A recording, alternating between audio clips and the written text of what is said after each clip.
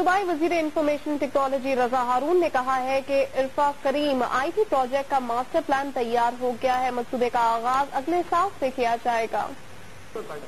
Karachi expo centre میں ساتویں information and communication technology کی نمائش اور کانفرنس کا افتتاح کرتے ہوئے صوبائی وزیر انفارمیشن ٹیکنالوجی رضا ہارون نے کہا کہ سندھ میں دو mega I T project آفا cream, I C T اور جیوگرافیکل انفارمیشن سسٹم شروع کیا جا رہا ہے۔ منصوبے پر اگلے سال کام شروع کر دیا جائے گا، جس کے لیے دو سو ایکڑ زمین بھی حاصل کر لی گئی ہے۔